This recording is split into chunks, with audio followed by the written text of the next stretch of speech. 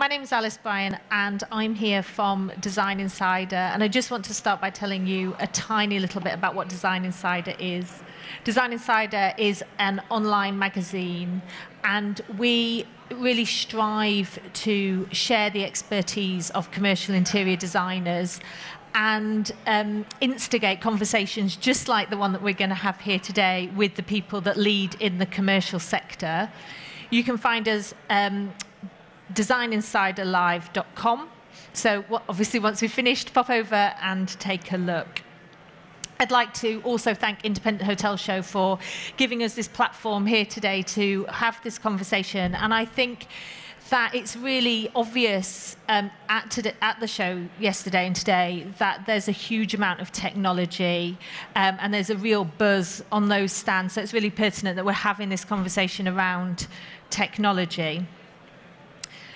Wanted to start by um, just mentioning sort of what hospitality is, and it's the relationship between the host and their guest. And it's about the host welcoming their guest with goodwill and generosity. And if that's all it was about, it would be, it would be really easy.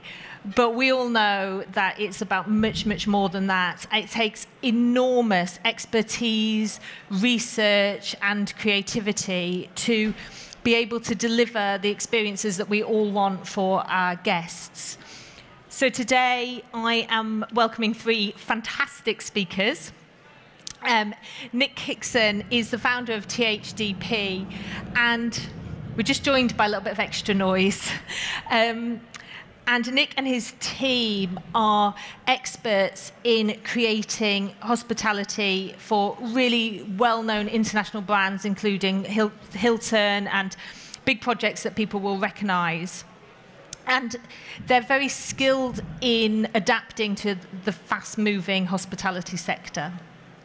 I'm also thrilled to welcome Holly Hallam, who is the Managing Director at Design LSM. And I've had the absolute pleasure of working with Holly before for Design Insider, so it's fantastic to welcome you back. Um, Design LSM create immersive experiences for ever expectant guests, and she's going to be able to share lots of examples with us today. I'm also thrilled to welcome Mustafa Afsaroglu, who is the co-founder and interior designer at Taner's Sons. Mustafa and his team, a team of six creatives that are London-based, designed one of the spaces here at the Independent Hotel Show, which is the business space, which is just downstairs in the front corner. So please do go and take a look at that. Today, as I mentioned, our conversation is going to be about technology. It's going to be to connect or to disconnect should we, how should we be designing hotels for the future in regards to technology?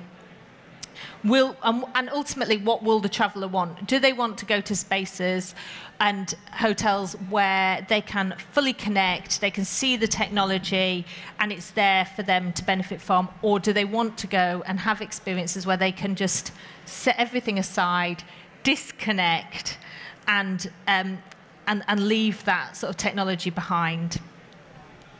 So we're going to start our conversation with Nick.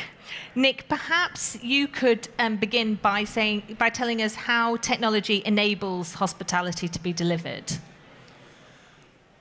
It's a very, very broad question. It is. Um, I'm taking it from our point of view, which is dealing with hospitality uh, hotels, so dealing with people like Hilton, Marriott, Hyatt, Accor, IHG. Um, uh, what, has, what has surprised me over the few years that we've been working with hotel groups is, I guess in one way, it's the, so, the very slow implementation of technology. I mean, some of it's very rapid in terms of software, in terms of management systems, in terms of taking bookings, online systems, etc. But in relation to kind of the technology appearing front, in front of the guest, that's been very slow on the uptake because it just costs an enormous amount of money to implement it. So things like the booking systems are rapidly arriving and are developed within hotels. Uh, but things like you know straight-to-room key systems and keyless systems are very slow in terms of uptake. I think you know, and, and it's been that's been quite a surprise for me. You know, I walk around uh, many of the stands here, and I see loads and loads of technology, which is amazing. But then I'm struck actually by the kind of gulf between what you see in hotels. I mean, and that's let's, mm-hmm. let's be frank about it. I mean, I, I actually thought, well, it's going to be a little bit disappointing because I'm kicking this off, and it's I'm talking about hotels most specifically. But actually, when I look at the, some of the hotel projects I've worked in, how slow it's been in take in, in being implemented into the yeah. hotel uh, in many ways. But saying that, I mean, obviously, you know, I think the approach that hotels have, I mean, they, they are keenly focused on that because obviously there's a there's a there's a ROI, there's a return of investment in implementing that technology within to, into their hotels, and it starts obviously with, with, with your own phone. Mm-hmm. Nowadays, you can go online, you can book a hotel online, you can go into the booking system of uh, Hilton Honors or, or Bonvoy for Marriott, etc., IHG systems, and literally book your your your hotel experience starting from that. And obviously, from that system, then you can, then you can, before you even arrive into the hotel, they can assign a room to you. You know, you're notified before you even arrive uh, of your room, your room number, etc. And, and, and that starting point is, is, is, a, is a gateway to almost the, the whole experience that the guest has within the hotel. So not only from a keyless check-in to straight-to-room systems, but, uh, but uh, lighting room management systems within the hotel. All of these things exist now that you can actually implement with your own phone, managing your, your TV mm-hmm. from your phone, yeah. literally managing your Netflix, etc., etc., with from your phone. So in a way, you think to yourself, why, why isn't it being implemented far quicker? Because mm-hmm. actually, it all starts from, you know, there's, there's a low cost because everyone's bringing their own phone with them, essentially. Yeah. But, but the problem, I think, is that the, uh, the ongoing costs of, of the management, you know, the, the actual management room systems, you know, per key, uh, per fit out is so high. Yeah. And I guess the other way you would think about it is many of the hotel projects that we work on in, in Europe, in particular, are refurbishments. So yeah. they're not actually stripping out all of the electrics in the room. They're actually implementing a, a new soft refurbishment most often than yeah. not. So they don't actually take they don't actually take up the systems because it would mean literally ripping out the entire management system of the room, yeah. taking changing all the lighting, applying motorized blinds to the windows, implementing a new TV, etc. Mm. And therefore, you, and therefore, it's a, it's a real shame to me because I think what and coming back to your original yeah. form of the question, which was what is hospitality, mm. I think most hotels understand that fundamentally they want the whole experience to be utterly seamless. Yeah. And no one wants to implement, you know, a, a freestanding iPad or, or, or, your own phone system into a room where the client comes in and immediately just understand or have a clue what it's all about, yeah. rather than them using their own phone where they're very comfortable touching and using, and you know, mm-hmm. obviously with COVID, etc and, um, and picking that up and actually having a system there in front of them, which is very familiar. I mean, I think we've all become very familiar with go- going to a hotel or going to a restaurant, scanning the barcode off the, off the table, dropping onto the system that, that that's there, implemented within the restaurant, and ordering yeah. it all online. So it's the next logical step is re- next logical step is really to take that and implement that within the, the guest experience.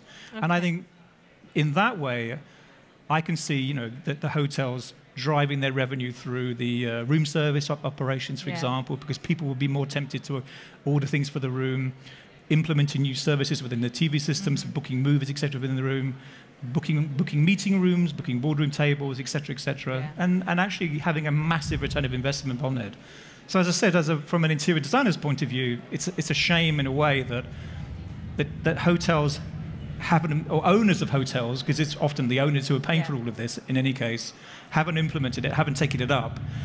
Because I, I think there is a real benefit to the, not just to the, to the hotels in terms of revenue, but also to the guest in terms of the overall experience that they're going to have.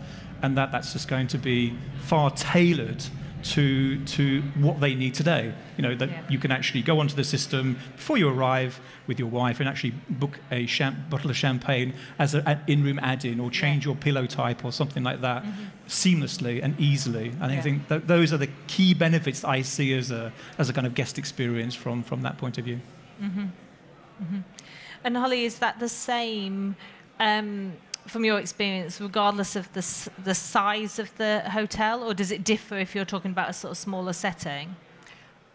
I think you're exactly right. It's the infrastructure that, that is the prohibitor for putting technology into refurbishments. Obviously, if it's a new build, happy days, start, start from the ground up, uh, as you mean to go on. But it's, it's I think, the, the slow uptake in understanding actually what that benefit does give both to you as an operator or the guest, because you're exactly right, that level of personalization that technology can, can kind of provide is fantastic. If you think about the kind of the amount of loyalty or the amount of data that you can collect, you're then engaging with the guest on such a deeper level through technology and through the use of kind of invisible technology as well, especially if it's using, as you say, through your own phone, that people aren't kind of feeling as maybe prohibited about giving over their data or giving over their preferences because it's all stored on their own device anyway. So I think it is something that has been slow to uptake, but I think it is something that's kind of going to be the next big wave of, of kind of, of revolution for, for kind of how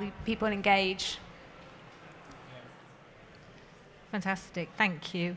Um, Holly, how does the brand how does a brand define a guest experience that they intend to deliver? Um, and what impact does that have on the integration, integration of technology within their setting? Again, very wide question. um, I think it's really important for any brand to really establish sort of what their sense of purpose is, what's their strategical positioning in the marketplace. So in order to define kind of what your direction is, what your tone of voice is, what your DNA is, so that you then understand who are you as a brand and what you want to represent and what's your kind of mission and purpose. So really sort of for, for, us as an agency, we always start with our clients on what is their strategical positioning, what's their brand DNA, because from that you can then kind of deliver on what that guest experience should be. So you know, for example, if you're in an urban city centre hotel, it's going to be very different. You're probably looking at people that are wanting to stay less inside your hotel and using it more as a base, and therefore you need to think about maybe your front of house experience being larger and more prevalent than your room experience. Um, Z Hotels are a really great example of that. They've got very small rooms, but actually their front of house space is fantastic. It's really communal, it's really social. You know, for an extra little I think it's eight pounds or something, you can have as much free alcohol and as much free food that they put out in their little ready-made kitchens for you as possible. And they have a great communal table that you can sit down and so you can meet other travellers, um, which is really great. So that's you know that's they've really delivered and thought about what the purpose of this, that guest stay is going to be, and it's all about getting out, socialising. Um, whereas if you look at something more rural, um, then it's all about kind of coming there to relax, a digital detox potentially, um, and having just that slower pace. And so therefore the room sizes should be bigger, your materiality will be different, the color palette even might be a bit calmer and softer. And you know, we're we're working with a, a, hotel in the Cotswolds at the moment, and we're looking at their playbook, which is about how to deliver guest experience. So it's all about you know, having electric bikes to hire, for example, with curated little backpacks that you can take your own picnic in and things like that. But that wouldn't work for a city centre brand necessarily. Um, so it's really understanding your locality, understanding your brand, and making it then fit for the guest desire that you're trying to deliver. And I think the same is for technology. Again, it's not a one size fits all.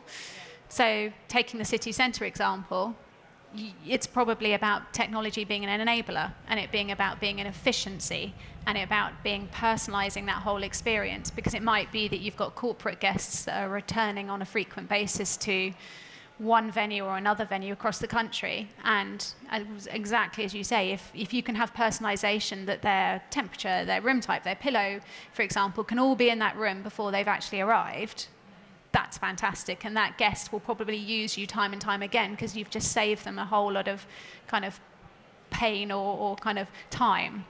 But if you're a, a kind of a rural property, yeah.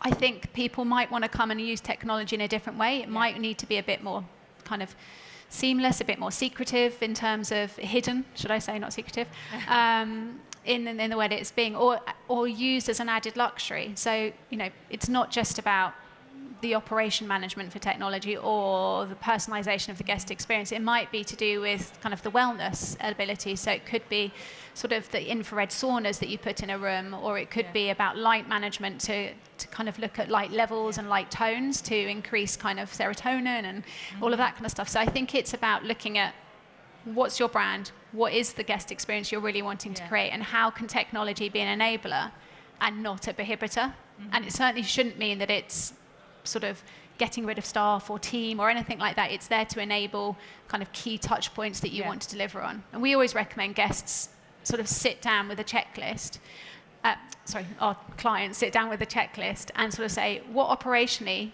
do we need to deliver? And what, mm-hmm. from a guest experience touch points, do we need to deliver? And where can technology help us on that? Right. And then what are the things that we really want to actually do as a personal engagement? And, yeah. then, and then you can really look at how you can use technology as that enabler and how you can still create that kind of personalized guest experience.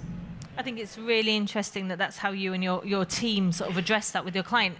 Do you work with your team, Mustafa, in a similar way with your client? Absolutely. So we would be sort of like, yeah, we're a small team of six, but um, we would always make sure that we sit all together yeah. on each project. Even the, um, the little social business space we've designed downstairs, we, we got the entire team to sit down after we've taken the brief from the client, um, understood their requirements for the space and what it needed to achieve and like you said, mm-hmm. not a lounge space that you can just uh, chill and work. It's more of a networking space. So after we understood those requirements, we, we came together as a team. Uh, some of the team members sit in Cyprus, some of us are in London, so it's a, it's a, digital platform we do it in, and it's, it's sort of like really interesting to get all these different backgrounds from, from, from all of my team members and sort of like get their input in the, in the sort of like design along the way. and um, think about how, how different visitors would be using the yeah. space, and they would all bring their own um, sort of like um, mindset and thoughts around that. So it's sort of like really interesting to see that um, from the from the diverse um, team members we have, who think about sort of like different experiences yeah. based on their sort of like uh, demographics, I guess. And does technology play, or discussing technology with as part of the project, does that play a big role in that conversation?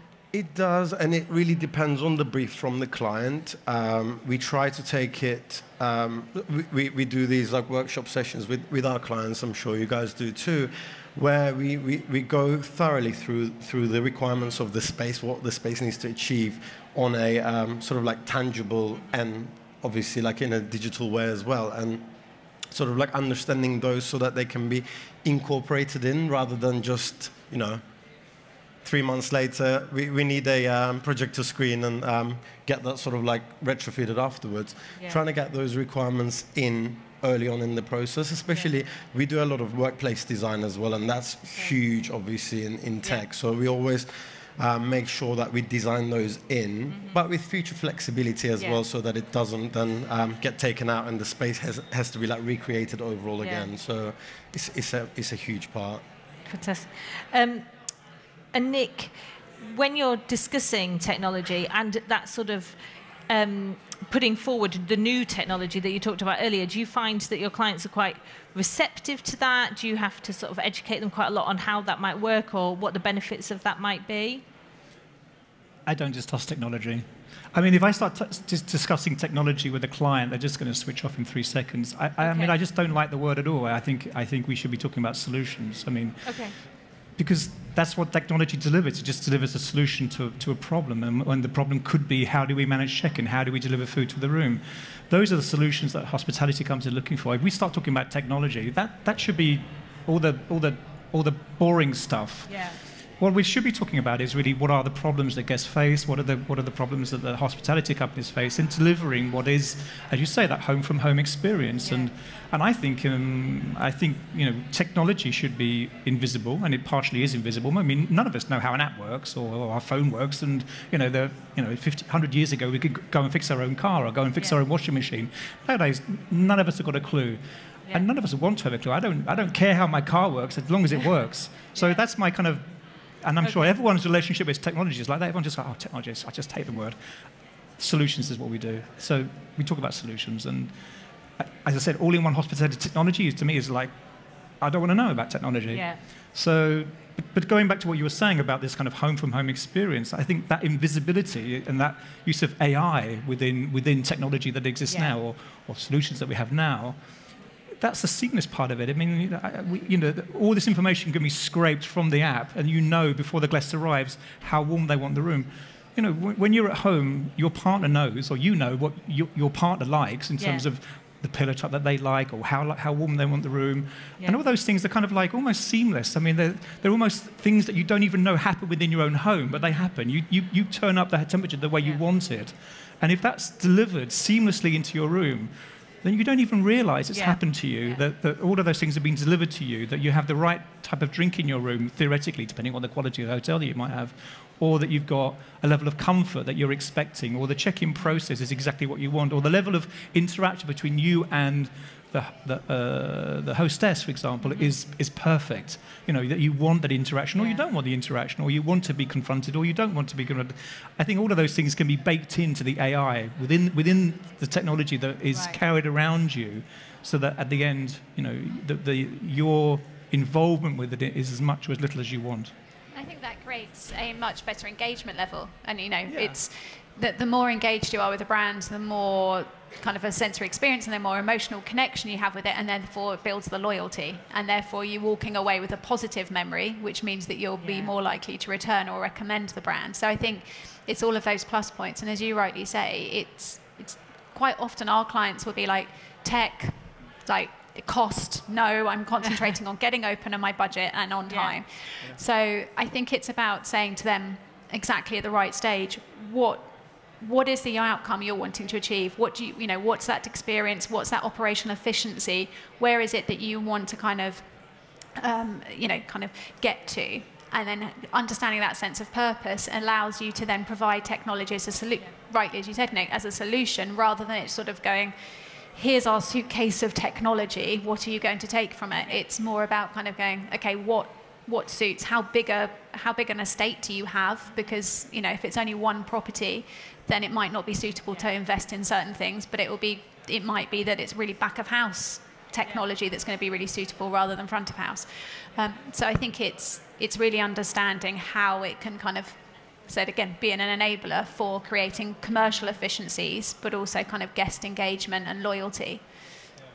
Sometimes I do think, though, that you can use technology to, to create those experiences as well, like as a bit of a bit of an add-on. For example, um, there's these coffee machines called Scanomat that are just taps, um, and you use iPad to, to order your coffee, and you can you know modify the hell out of it, and it just becomes a bit of a for, for customers. It becomes a bit of a um, talking point, and they mention it to their friends. Oh, do you know what? I've ordered my mocha through this through my app, and it's great. Like, come back to this lounge space so that we can you know, like use this and, and sort of like it, it just creates this sort of like cultural space around it. So you could use it as a bit of a bit of a talking point and a bit of an experience as well. Um, so sometimes it would be helpful for that too. For me, it's, uh, I think, uh, when you think about lifestyle hotels and, and the kind of the, the, you know, this birth of lifestyle hotels over the last 10 years and everyone's building lifestyle, you know, type, type of properties, for me, it's like, what's, what's, what's next? What's beyond lifestyle? Where do we go next with lifestyle? I mean, and why do people build lifestyle hotels? People build lifestyle hotels for the guests who love that type of lifestyle. It suits their personality, it's quirky, it's fun, it's creative, it's engaging. And all of those things fit together with how they feel as a person. And, it, and it, you go there and it, and it just envelops you, and you can show off to all your friends that you're staying in this really cool place, whatever that might be, as you say, a, a, a, a, an urban hotel, a resort hotel, or an experience hotel. But what's beyond that, and what's beyond that to me is the, is the personalization, the, the real personalization of that experience. That if, you, if, a, if a brand knows that you tend to book two or three experiences when you go away to a resort hotel and you go to the next one, they already know the kind of things you like to do. So would you like to go rock climbing or would you like to go and do that? That's where, that's where I see the AI, the whole technology coming in seamlessly. They all know what you like and it's just there. So the hotel manager or, or the, the, the experience manager, because that's what hotels needs nowadays, you know, not just a business manager or a, a F&B manager, they need an experience manager to kind of manage those experiences for guests because we don't travel for the same reasons that we used to three years ago. I mean, we haven't even mentioned what happened with COVID, etc. So, and, and, but, but the reason we travel has changed completely, and most of us change. I mean, I travel a lot. I travel for business a lot. But hell, you know, do I really like, love it when I can actually zone out and actually and, and enjoy the overall experience of it? Fantastic. Mustafa, you mentioned earlier that a lot of your um, work is focused in the workplace, and I, I wonder if there are lessons that we can take away from the work that you do in the workplace, or um, concepts that would also lend themselves in the hospitality sector that um, revolve around creating different spaces for different uses, and, and how technology enables those. So, Alys, if you asked me this question two years ago or three years ago, I would say "Mm, not so much. But you know, we had this tiny little thing called COVID. That's changed a lot of things. You know, it's really starting to well, it, it, it had to blur straight away your work life and your private life and your sort of like social life as well. And um, yeah, historically, I'd, most of my career I spent designing offices for the likes of Google's, Microsoft's, Facebook, so a lot of tech companies actually. And um, the, the, the, sort of like the difference between between that sector and the hospitality was huge, especially hotel design was huge. But obviously, over the past two years, we just see a lot of our clients' briefs in the hospitality sector because we've been sort of like jumping into hospitality as well. That the space needs to work throughout the day. Yeah right? It can't just be uh, breakfast, lunch, dinner. It has to be a space, or mostly anyway, with our clients, has to be a space that is usable throughout the day. So what does that mean? Well, it means that you need to allow people to be able to work from there. That means easy connection, connectivity, plug and play. Um, but what does that also mean is that the lessons we can take from workplace, the biggest thing we say when we design workplaces is variety of choice. So giving people the choice of um, different types of settings so that they can do their job the most efficient way. So there'd be a there'd be a collaboration lounge so you could bump into people or have informal conversations in front of others. So it allows people um, to sort of like bump into each other and sort of serendipitous encounters. There's one. There's quiet conversations where, or, or quiet work where you have to be high focus. You need to sort of like close away and be on your own and be able to record a podcast, uh, be able to, you know, um, go through your report and just get that out of the way so that you can go um, on your electric bike and cycle afterwards. And there's all these different types of work modes that we normally incorporate into the workspace with the types of spaces we design. Now in hospitality and hotel design, I don't really see this um, yet happening, and I think that's one of the biggest differences that um, uh, between them that we can bring into hospitality design. So bring those variety of settings, bring that easy connection, bring those little pods that you can hide away from others fully so you can focus, do your work, and get out as soon as you can to, to enjoy the rest of your time away. Because now, as well, with most people doing remote working, yeah, I mean, they'll be traveling during the week as well, right? And yeah, yeah. being able to um, work and sort of like holiday at the same time. So it's just being able to allow that. And with technology overlay, what that means is spaces that allow for that really quick um, sort of like plug and play, and spaces that you can completely, you know, um, switch off everything and focus on what you're doing. Um, quite often writing a report or some, something that's very sort of like non-techy. So it's again the choice, the balance. Yeah of these settings that we could really learn to incorporate into these environments. Yeah, I think you're, I mean, I hate using the COVID word, um, but you're absolutely right. The, the boundaries have completely blurred post yeah. post COVID in terms of. I mean, they, I think they already were starting to come a bit blurred, but they kind of were rapidly forced to be blurred. So people who were once, you know, I come to an office, I work, I then go to a hotel for my leisure or my kind of business yeah. trip. It's now not that anymore. People are just, you know, traveling and working at the same time. So yeah. that hotel has to be a leisure and a business and a and a fun, you know, and a social destination. Um, so I think it hospitality spaces do have to work a lot harder, and I think clients are becoming a lot more savvy about what those spaces can be, not just from a guest experience, but also from a commercial perspective. Yeah. You know, I mean, you look at it's a cliche to say, but look at the Hoxton. I mean, you know, how many how many people are there actually are residents of that hotel? Probably very few in that lounge. They are there just to work, and that, that's an, you know the money that they're getting on the coffees and the drinks and the food, mm. etc. So I think it's clients being a bit more savvy about where that revenue generation is coming yeah. from and how to space plan for that revenue generation, and then what what that also means. Um, but yeah, exactly right that it's it's about careful space planning to make sure that there's flexibility. Nobody wants, and I'm sure sort of when we've designed traditional hotels, they've got ballrooms and conference rooms that are sat dead for kind of so many hours of the day. Yeah. Um, you know, and people are sort of saying, actually, this is pointless. I've got a huge restaurant that serves 600 people for breakfast, and that's yeah. all it does Yeah. And it's in a key space of the hotel. You know, what, what we need now to make every space count. And as as energy prices go up and as rents go up, you know, every square foot's actually got to be commercially viable. Yeah. So understanding how to flex a space and how to make it work better is really key. I think, I mean, I think when you, I mean, I we do a lot of MICE hotels, you know, meeting conference events, etc. And uh, I mean, obviously, they've had, you know, with COVID coming along, they all look at it thinking, well, it's we're going to be dead. I mean, we can't survive. How do we how do we manage? I, I don't see that at all. I think you know when you think about learning and traveling and, and, and organizing a business meeting somewhere as an event for your for your team. I mean, if you asked anyone to say, "What did you do last Thursday at work?"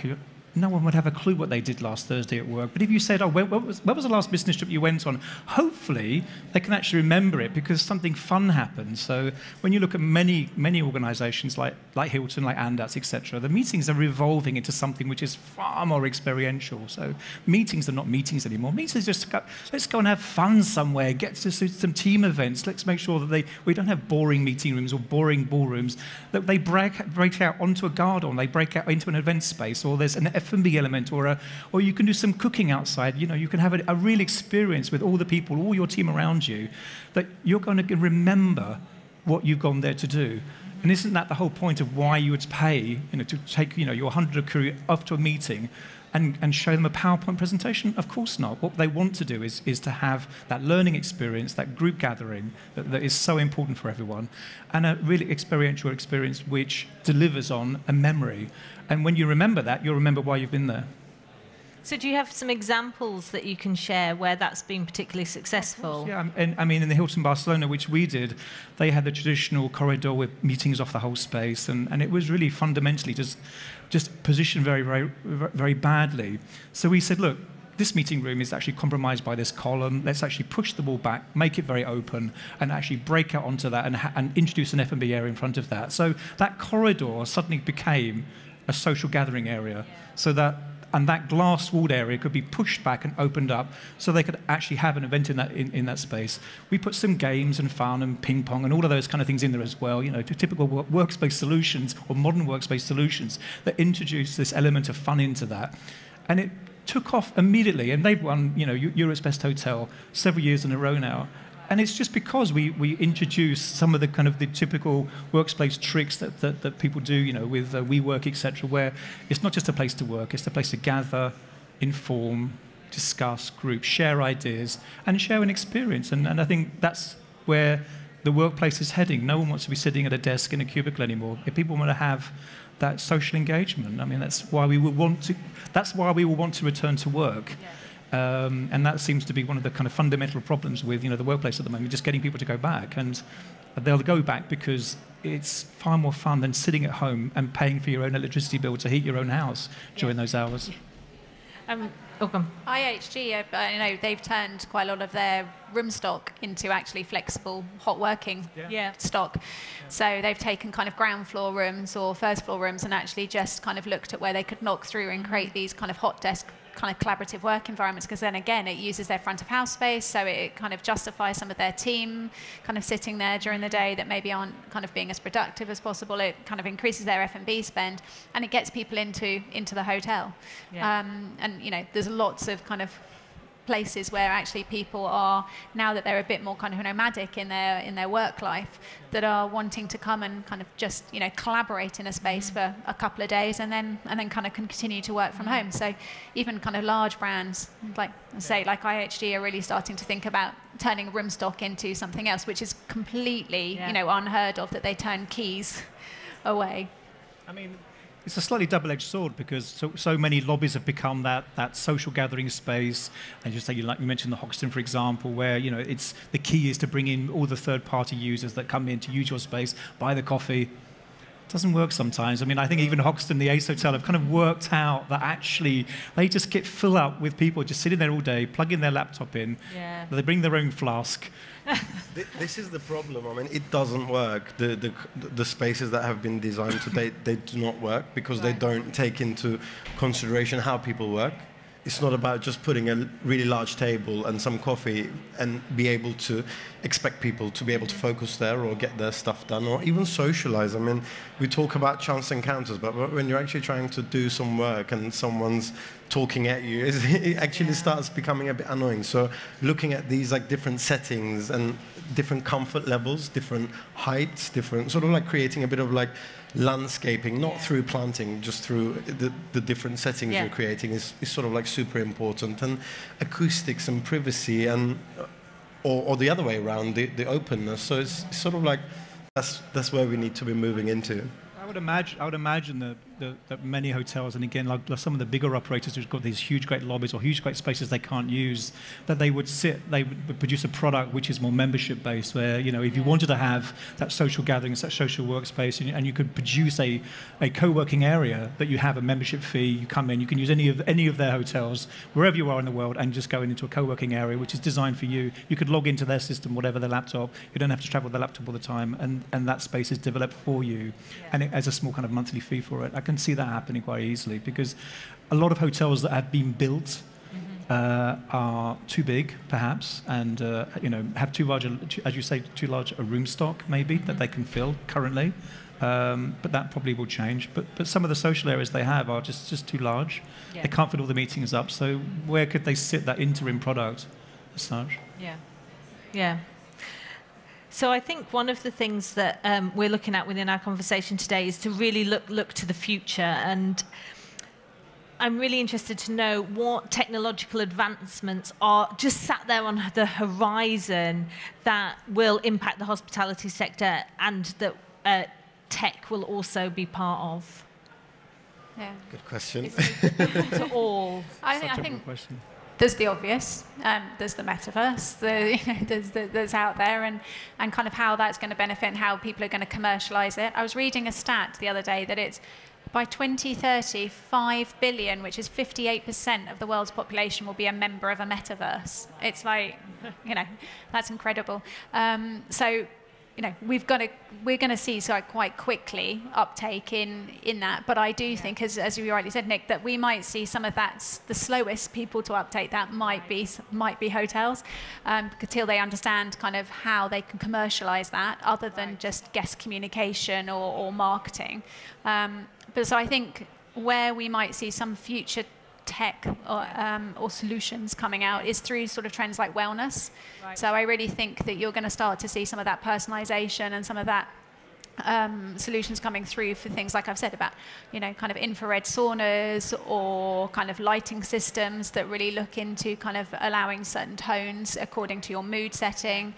Um, and things like that that really, you know, DNA profiling with the nutrition and the wellness packages that they offer. And I think we'll start to see some of those really exploding uh, because wellness and kind of mental and physical wellness is such a big kind of it's not even a trend it's just such a big kind of important issue within the hospitality and it's going to be one of the key reasons especially with kind of you know economic pressure people are going to travel, but they're going to want it to benefit them. They're going to want to have an experience, and they're going to want it to be sort of something that creates kind of a sense of wellness within them to, to justify if it's for a leisure purpose, to justify that kind of spend. Yeah. So I do think, aside from some of the obvious ones, um, that kind of technology and wellness will be one of the big things that we do see grow really rapidly. Okay.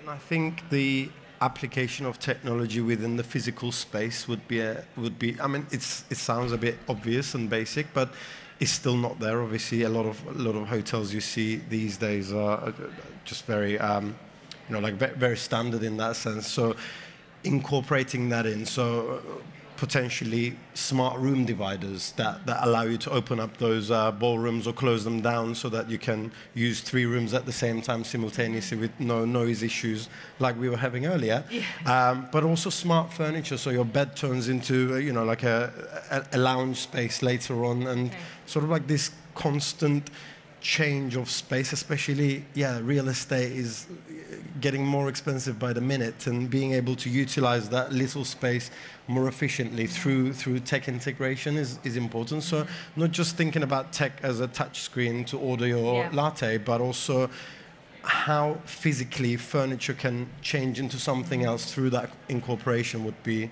you know, like Yeah. I, th- I think important. So like, yeah, it, it sounds really, really sort of like um, basic again, but the, the room dividers and things like that that would allow you to automatically switch the room layouts would be, you know, like a, it's a good start to, Yeah. to really make space more usable. Even projection. You know, I think that's even projection is simple tech like that because the hospitality and hotel industry has been quite slow to uptake. Even things like projection, which will actually change a room environment. So Yeah. you're physically in the same room, but it will change the room environment for you. Um, is going to, I think, we're going to see kind of an uptake in in more immersive solutions to provide flexibility in space. I think, as I said, you know, it's one of those things that we can all see this wonderful future ahead of us. And, you know, maybe back in the 50s, everyone thought by, we would have flying cars by now. And I think we're really bad predictors of the future. That's, so Yeah. that's why sometimes I kind of stand back from this. What's going to be happening in 10 years' time? Because none of us have got none idea who could have predicted COVID, for example. And it's funny things like COVID and, and those disasters that happen in the world, unfortunately, which probably are the biggest influences on, on changes, economic solutions, finding economic solutions. But I think touch, touching upon what you were saying about technology enabling other things that happen in hotels, things like digital printing, you know, producing producing surfaces and ceramics which are which are uh, antibacterial. I mean, taking the kind of the question slightly to kind of aside I think technology is evolving across the board. That all the things that happen within hospitality to make the experience kinder and gentler, more friendly, more more sustainable. All of those all technology appears in all of those things, and it's not just a single enveloping thing that happens in front of the guest in terms of an iPad or a touchscreen or ordering. It's across all of the surfaces, you know, producing carpeting and producing all the materials that go into a hotel. All of those industries are fighting so hard to produce the best, highest quality, most sustainable product. Um, baked in, you know, from the from the inception of the product itself. So as a designer, it's always it's always a tricky one to kind of answer. What is going to be the future? I think the future will be very much what we've had in the past. You know, I mean, we'll still be living in, you know, in, in uh, the same houses we will be living in now in a hundred years' time. But there, but this inversion of or this uh, uptake of of, of software, which is so much easier to implement, will be will be the thing that's going to change and revolutionize our stays in hotels, and it will be hopefully seamless, invisible, and uh, and adaptable. and intuitive, I think. to- yeah, absolutely, yeah. Absolutely. Well, just before we finish, we have just got four or five minutes. If anybody um, has any questions, I hold, just hold on one second. We've got a microphone for you. Hi, uh, very interesting talk. Thank you. If you think about the conversations you have with your clients and the barriers that they bring forward, if you have to pick one barrier, what is that? And what is the solution from your experience? You say one value. One barrier. Bar- Barrier. Barrier. Econo- economics, cost. is the biggest problem we face generally on projects at the moment. Prices are going through the roof. Ordering any, you know, fitting out a room at the moment is more or less gone up by 30, 40%. I mean, we're doing we're doing several hotels at the moment. Just knowing what the costs are going to be tomorrow, the next day, the day after is impossible to gauge. You know, the supply chain. So the cost is is the is the toughest face, the toughest question that we face at the moment in terms of fitting things out. And your solution to that? I mean, you've been in the industry for a while. You've seen that Um, before, perhaps. I, I, I, was, I was talking to a whole group of suppliers uh, a, a couple of weeks ago, and I said, uh, specify less, design more. Use less, use your brain. Maybe we can refurbish, maybe we can just recover, maybe we can. And it's a kind of like, it's a kind of hokey solution where you think, oh, that's just not delivering the really on the guest experience. But I think that's probably the most sustainable solution Yeah. is to reuse what you've already got Yeah. to, to readapt it, to, to change it, to modify it, and just to kind of push it on to another five or six years' experience before we kind of got past this horrible situation that we're in now. And I think actually, you know, very, very often you can get some amazing results, and it's utterly sustainable because you're using so much less product. But I think also with what you were saying there, actually, it's it actually can deliver on the guest experience because actually it's then the energy's put into the team and the kind of the personal guest experience, which actually we can all talk about how wonderful our designs are and how kind of they add to the atmosphere. But actually, if, if it's not delivered through a personal touch, then it, it kind of falls short and you're just in a museum.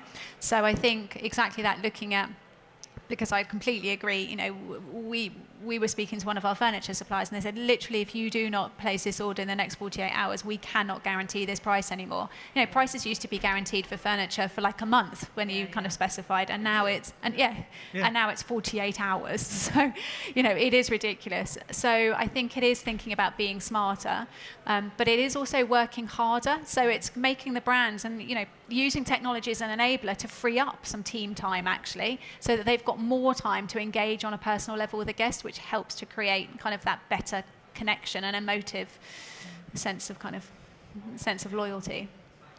Thank you. Well, that was such a thorough answer that we used up the Sorry. last of our we used up the last of our time. But um, everybody will be here afterwards. So if you did have another question, please do just come over and find us, and I'm sure I'm sure we'll be able to answer your question um, then. So thank you so much, Nick, Mustafa, and Holly. Thank you.